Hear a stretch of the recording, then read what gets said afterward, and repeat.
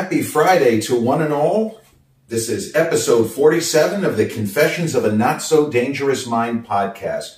I want to thank everyone once again for joining me. And if you're checking out episode 47 on the YouTube channel and haven't done so already, please click like, subscribe, and turn on those notifications. Or if you're joining me for the audio version of the podcast on Spotify, iTunes, or the other platforms and haven't done so already, and if you enjoy the content, don't forget, click like, subscribe, and turn on those notifications so you will be instantly notified when another episode of this podcast drops. So today is Diane Keaton's 78th birthday. And for a certain generation, like my parents' generation, for many of them, it's hard to believe that someone, um, you know, that was young in their 20s and into the 30s when they were at that age, it's kind of hard to wrap their head around the fact that she's that old, but she's 78. She still looks fantastic. And um, not judging, but if she's had any work done, I don't know. I mean, it's very, very subtle. She, to me, and this is going back to the, the Something's Gotta Give era, incredibly, a movie which is now 20 years old. There was a lot of chatter back then about how, uh, you know, Diane, as she was at the time, you know, in her kind of late 50s, had not gone under the knife, still looked like herself and not altered, just older. And there was just a lot of chatter about that. And it's real tough. It's a lot tougher for women in Hollywood than men. We all know that. But she's amazing. She is um, Oscar winner for Annie Hall, a movie that's now you know, it's how many years old? About 46 plus years old, 1977, the year after Taxi Driver, Network, and Rocky. Um, but she won her Oscar for her kind of madcap screwball, but deeply human performance as the title character, Annie Hall. And she had been in The Godfather you know, she was with Pacino in The Godfather and the whole thing, and has given many memorable performances uh, across her career. And in addition to the Oscar nomination uh, and win for Annie Hall, she was nominated for the Warren Beatty film Reds, and uh, she was up for uh, Something's Gotta Give. And just an amazing career it seems like she should have had more than a, a, total of four Oscar nominations. But the other one is a movie I actually saw in theaters. Uh, it's not that good. Uh, Marvin's Room. And it's strange because I remember there was chatter uh, in 96. And then in 97 at the Oscars, the, the First Wives went to the Oscars, um, you know, her co-stars. And, and the First Wives Club was kind of a, even with the strength of the cast, you had Diane and Goldie Hawn and of course Bette Midler. Bette Midler always is like stealing scenes left and right. But there was actually chatter because Diane had the most challenging of the roles in that particular film that maybe because her performance was so strong, she would get nominated for First Wives Club.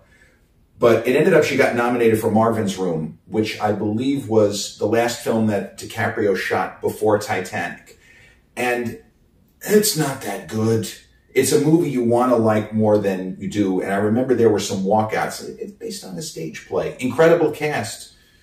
Mr. De Niro, Bobby D plays Dr. Wally. It's weird that I remember the name of his character was Dr. Wally.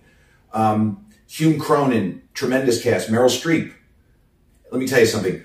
Diane Keaton runs rings around Meryl Streep. And Meryl Streep might be the GOAT, but in that movie, she gave way.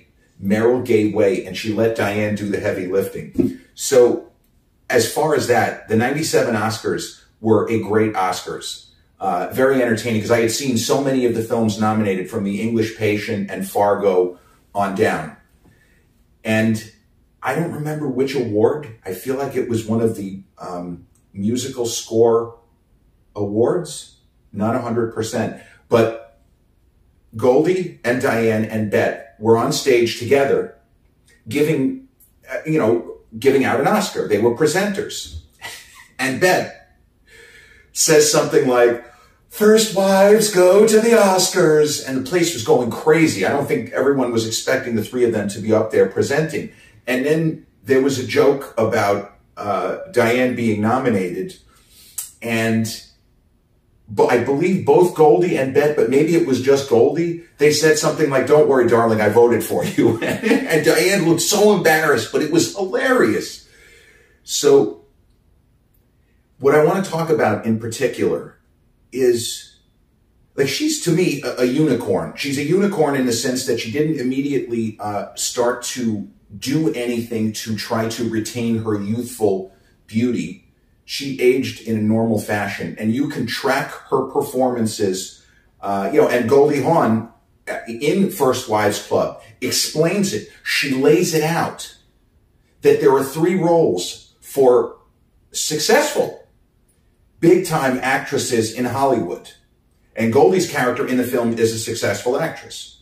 And she says the only three roles are babe, district attorney, driving Miss Daisy. So you're either the hot young thing or you're school marm, district attorney.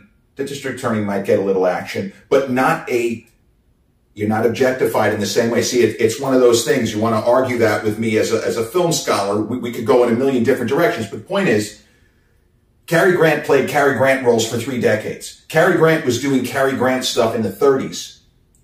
And then from the 40s until almost the middle 60s he was doing the same kind of shtick because he was Cary Grant. In a suit, Grant was ageless. Doesn't work that way. You know, go back to the 1930s and 40s. Mary Astor in The Maltese Falcon is playing the sexy, mysterious femme fatale with Bogart. And then a couple of years later, she's playing the school marm with Judy Garland in Meet Me in St. Louis. And I remember watching Meet Me in St. Louis, and I, I heard of the film. I didn't know that that Mary Astor was in it. And I was just, I was cracking up because we had been talking about this thing. This was even before First Wives Club. And it's like, okay, so, so Mary Astor goes from every guy wants her to, well, she's old. Overnight. Sally Field, 1988 punchline. She plays Tom Hanks's theoretical love interest. Six years later in Forrest Gump, she plays his what?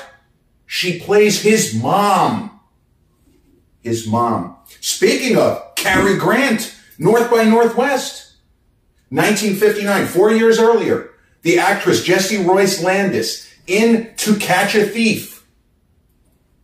Grace Kelly. Cary Grant plays a retired jewel thief who may not be so retired, but one thing we know for sure, he wants to compromise Grace Kelly's virtue. Asshole. But in To Catch a Thief, the actress Jessie Royce Landis plays Grace Kelly's mom. Now, they're both women of means. They're society ladies. Not that there's anything wrong with that. But Jessie Royce Landis is giving Cary Grant very non-kosher, non-matronly gazes. Because after all, he's Cary Grant. Fast forward four years. North by Northwest, the most entertaining film Alfred Hitchcock ever made. And when you talk about a movie star, an all-time guy, and I might make the argument, and I've made the argument elsewhere, Cary Grant is the greatest star Hollywood's ever known. Has nothing to do with Diane Keaton. But Cary Grant in that movie is extraordinary. But Jessie Royce Landis, the same actress who was giving him the eyeball like she wanted to, you know, if my daughter's not going to go for you, maybe I can have a crack. She plays his mom in North by Northwest, even though Cary Grant is actually, they are four years apart in age. I believe Cary was actually older than her, but she plays his mom. So that's the kind of ageism that was being discussed in First Wives Club and just the general sense that once you reach a certain age, you're not going to do anything. But Diane Keaton did not, she did not fall for any of that shit.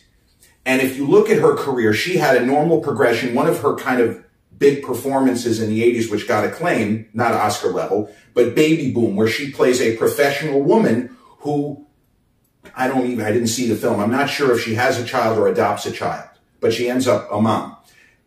And so she was playing age appropriate roles.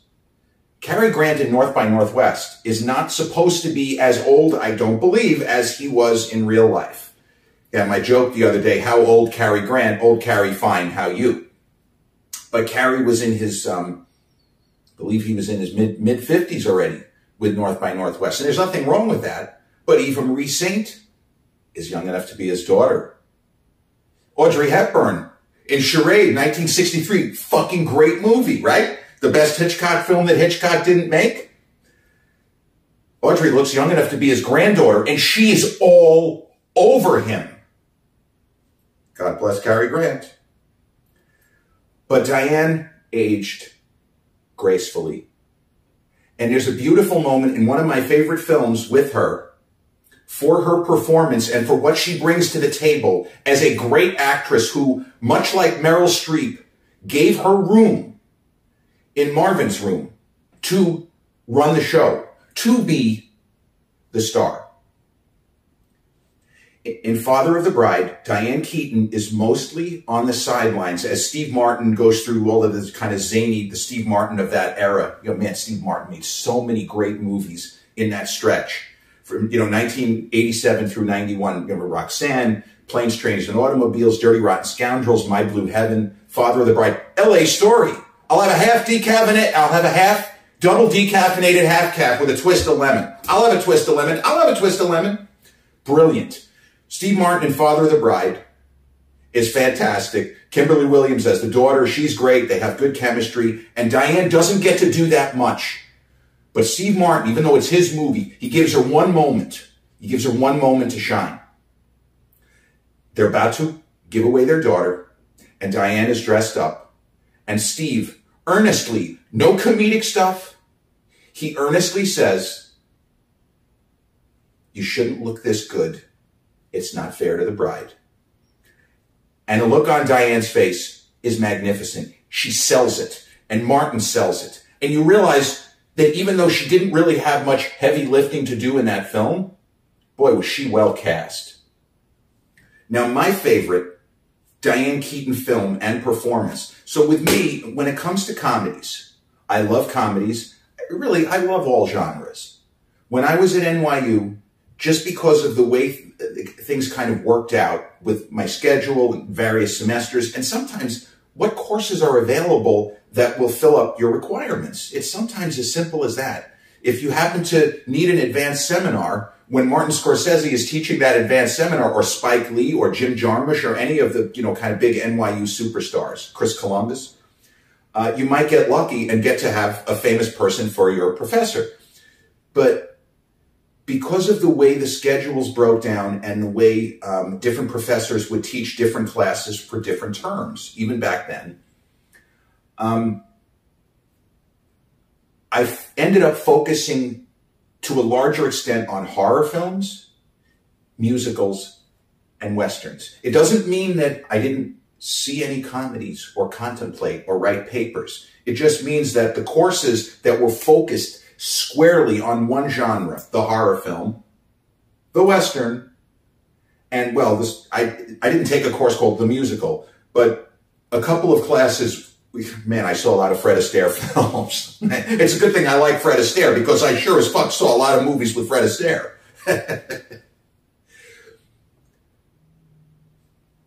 Diane Keaton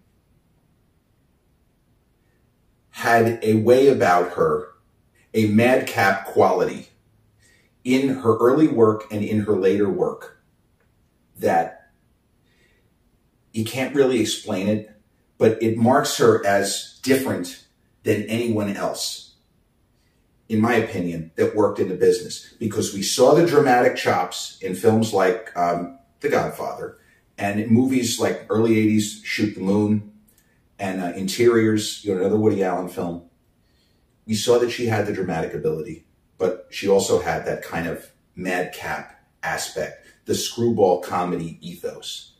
So I love comedies, is what I'm saying. I love comedies. It's not a genre that I dismiss, and I don't subscribe to the idea. Yes, if you want me to say that uh, Hannah and her sisters, which is a Woody Allen film, not with Diane Keaton, but if you want to say that the laughs are somehow a little bit more intellectual in that than in Airplane, fine.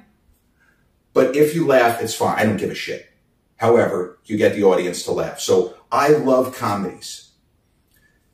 But in general, comedies don't hold up to repeated viewings for me in most cases. Home Alone being an exception, but a big part of that for me is that it is a Christmas movie. And when I'm in the holiday spirit, it's a movie I'll fire up. More for that reason. And yes, I, I think it's a terrific story and, and the, the antics and the Daniel Stern and Joe Pesci and everything. Terrific. Catherine O'Hara.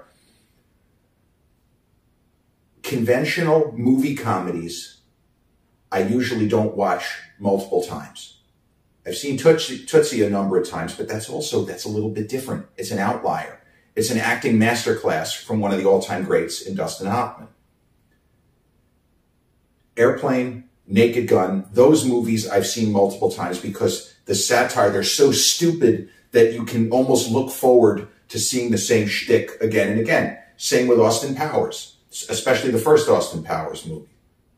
This organization will not tolerate failure. Scott! Great.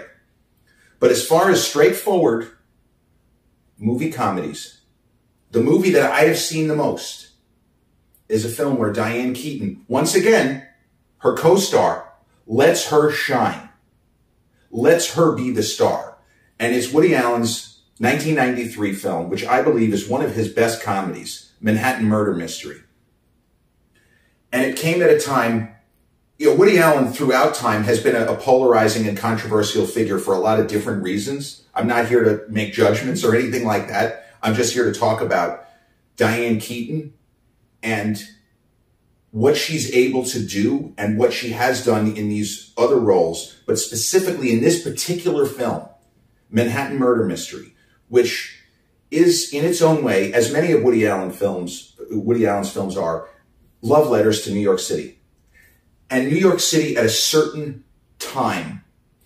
And as somebody who spent so many hours of his life in that city, Hollywood films of the 90s hit different. To some extent, the 80s, but the 90s especially. And Manhattan Murder Mystery, just as it says, and a little bit of trivia, uh, before Woody Allen himself knew what the title of Annie Hall was going to be, uh, one of the working titles was Manhattan Murder Mystery. Uh, because there was a mystery element to Annie Hall. I mean, it seems crazy, but that was a film uh, almost like Terrence Malick, Thin Red Line, where he shoots, you know, enough footage for an eight-hour movie and then starts editing. Woody Allen and Diane Keaton shot a ton of footage that ended up never getting used for any. They, who knows? It could be in a vault somewhere, but unless it's been treated, those original negatives are long since gone the way of the dodo. They got to be completely degraded beyond, you know, beyond even watching them. But Manhattan Murder Mystery has Woody's in real life, he would have been, how old would he have been? He would have been in his mid 50s. And Diane, no, she's younger. She's in her mid to late 40s. And I think the characters are like they were playing, again, age appropriate. Woody's not playing younger and Diane's not playing younger. I think we're supposed to believe they're roughly the same age, but they're married. They, they have money. Uh, Diane wants to open a restaurant. You can tell she's a little flighty, as Diane has played so many of those kind of space cadet, flighty, la la la type characters. But she's very sharp. And the giggles and the laughter, because she does a lot of laughing and giggling in Manhattan Murder Mystery, kind of camouflage the fact that she's a smart cookie. Don't let the giggling fool you. She's no stupid, you know, no shrinking violet, and she's no moron. She's very, very sharp. And Woody's character in that film is in book publishing, and we're led to believe he's not a multimillionaire, but they have money. And Zach Braff, in a like a blink if you'll, you blink and you'll miss it cameo, plays their son in the film. And other terrific actors like Anjelica Huston and Jerry Adler and Ron Rifkin show up.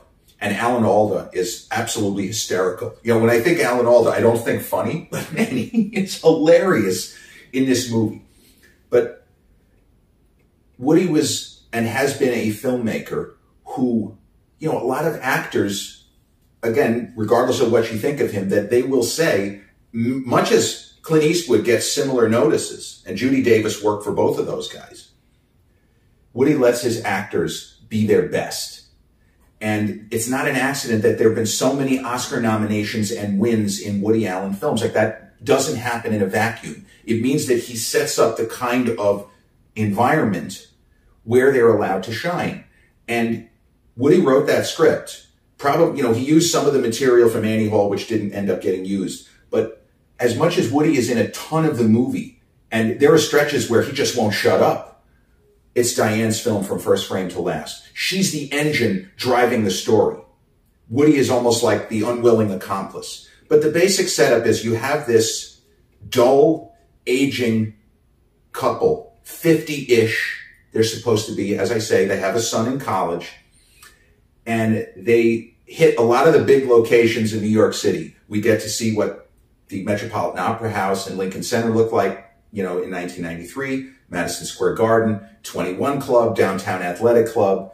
They just hit at Bryant Park was just being modernized and renovated. It really had looked like crap circa 1990. Because I remember when I was working in the city as a kid, walking around there, I said, "This is fucking dumb." But the substance of the story, and this is not one of those slow burn where it takes a long time to get to the plot. But Manhattan, Manhattan Murder Mystery, Woody and Diane, we immediately establish they've been together for a long time, clearly have great affection for each other. It's not that their marriage has hit the skids, it's that there really isn't that much excitement left. And they meet their neighbors, you know, down the hall neighbors, and Jerry Adler plays the husband. He later was um, he was on The Sopranos as I think the character was Hesh, but he was very very strong in Sopranos as one of Tony's guys. And um, you meet this couple, and it's a comic scene because Woody is frantically trying to get out of this because there's a Bob Hope movie on television I want to watch. You know, no streaming in 1993. There's a movie that he wants to watch and they're stuck in their neighbor's apartment and this guy is showing him his stamp collection and Woody is fucking hilarious. But it turns out that this is not just random. All of the information that we're given in this comedic scene comes into play because a few days later the the wife passes. And Woody accepts this. Woody's character, Larry Lipton, accepts this. Well, she died. There, there's a doctor. You know, the um, the building super was there. There's no foul play. Diane immediately smells a rat. She says, no, no, no, this woman worked out. Her health was good. I don't buy it. Something's going on. And then the story unfolds from her initial suspicion, something is not kosher to a real murder mystery. And obviously the story wouldn't be, the film wouldn't be called Manhattan Murder Mystery if there wasn't actually an angle where this takes place. So you have Diane Keaton Again, this is 90s. This is Hollywood in the 90s. And you have a female driven major Hollywood feature where it is Diane Keaton literally running the show. Everything that happens, she creates all of the action. She is not the reactive female. You know, Roger Ebert used to joke about, uh, he would call it seeing eye man. Say so many times in movies, you notice guys see something first and he has to point it out to the woman because she's too dumb to figure it out on her own. Says, oh, did you see that? Yeah. In this movie, they do the opposite. Diane sees it, and then she has to point out to her slow-witted, even though he's not slow-witted. But when it comes to this particular case, which he keeps saying there's no case, there's no murder, the woman had a heart attack, she had a coronary, it's coronary, folks. I saw her, I saw her, yeah, you saw her on the bus, the dead person's bus. Yeah, no car fare. But kicking and screaming, Woody is dragged along on this ridiculous, crazy, but it makes sense. A terrific mystery that you really can't guess. This is not one of those where you say who the killer is. It's not that kind of story, but it's a really interesting plot. And you figure nothing horrible is going to happen to Woody and Diane. As, as I say, Larry Lipton and Carol Lipton, great names and Anjelica Huston shows up. So like the Alan Alda character, he's a friend of both of them, but he has had a decades long crush going back to when they were in their twenties with Diane. And he likes Woody well enough and Woody gets along with him too. He's a, he's a playwright. But Alan Alda wants her for himself.